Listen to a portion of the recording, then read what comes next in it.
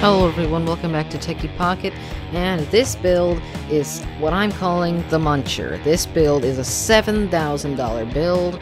By the way, you can get a monitor for that price if you didn't know. Anyways, this is a $7,000 build. This is what I build for $7,000. Of course, for $7,000, why wouldn't you go with it? The 6950X, top of the line, Core i7 Intel has currently made. Radeon Triton because Raijintek Triton I meant. Blue because it's blue, that's why. It's my favorite cooler. Asus X99A2 because has good ports, very efficient motherboard, and efficient, that's wrong.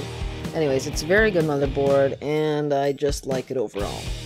Corsair Vengeance LPX because that's one of my favorite uh, RAM types, 128 gigabytes, 2133 megahertz, DDR4, very good a Intel 600 series, 600p series M.2 1 terabyte SSD. I'm going to be using that for the boot drive.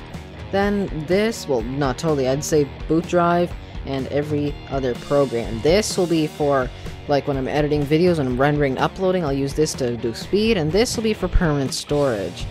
Then, of course, two Titan XPs, $1,200 each, and the NZXT S340 I know that's not the best case, but that's a case I like. Then I went with 1000 for, I don't know, how much does this take? I don't know how much it takes, but for some reason I with 1000 because Platinum certified, fully modular, and enough for upgradability.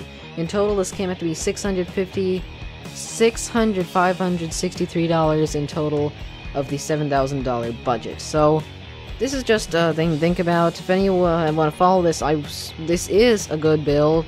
So if any of you are looking for a $7,000 build, this would be what I'd say you should build. Anyways, catch you guys in the next video. Bye.